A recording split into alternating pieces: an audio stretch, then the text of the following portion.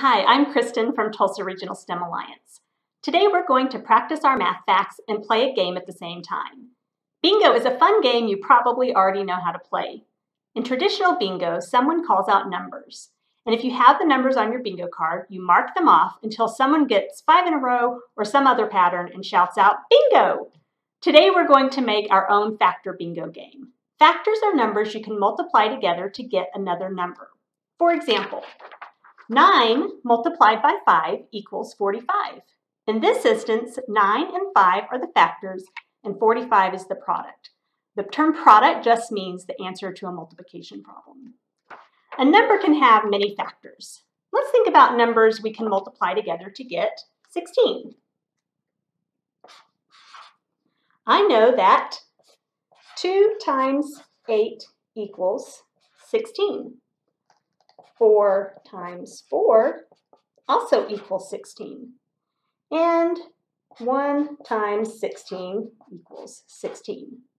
So the numbers 2, 8, 4, 1, and 16 are all factors of 16.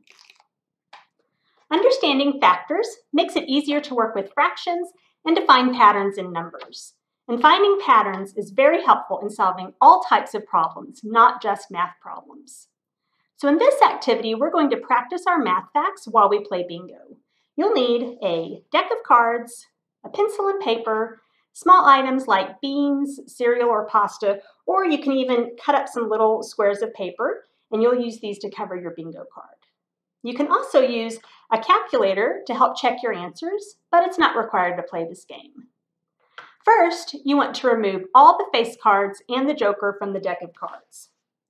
Face cards are the king, the joker, or the king, the queen, and the jack. And then you also want to take out the joker. And for this activity, we will use uh, an ace to represent one. Next, you're going to create your bingo card. You will draw a five by five grid on a piece of paper. So that's just five squares by five squares. So you will have 25 squares in a grid altogether. Next, you're going to fill in your grid with any number that you want. But you want to be thoughtful and strategic about the numbers that you choose. A deck of cards includes the numbers 1 through 10 when we use the ace to represent 1. So, all of the numbers on your bingo card should be products of these numbers. Don't repeat any number on your card. They should all be different. So when I think about numbers I could add to my card, I think 18 would be a good number to add because I know that 18 has several factors. 9 times 2 equals 18 and 6 times 3 equals 18. But 33 would not be a good number to add because there is no way to get the pro product 33 based on any of these two cards in the deck. So if you need help thinking about numbers to add to your card, you can just start pulling out some cards and multiplying them. So I could pull out uh, 2, and remember ace equals 1. So 2 times 1 is 2, so 2 would be a good number to put on my card. Um, each player should create their own unique bingo card with different numbers. After you've made your card, it's time to play. So I've made my card filled with all different um, numbers that I know I can multiply together in this deck of cards. So to play, player one will draw two cards from the deck. So I've got a 10 and I've got a 9. So multiply those two factors together. 10 times 9 is 90. Now check your card to see if you have that number. Yay, I've got 90.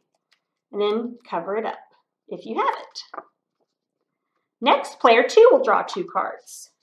So we've got 6 and a 5. Multiply those two numbers together and we get 30.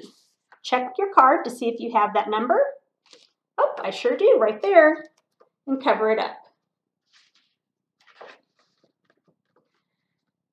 Each player takes a turn until the first person to cover five squares in any direction wins. If you run out of cards before someone gets a bingo, just reshuffle the cards and keep going until you have a winner. I hope you have a lot of fun practicing your math facts.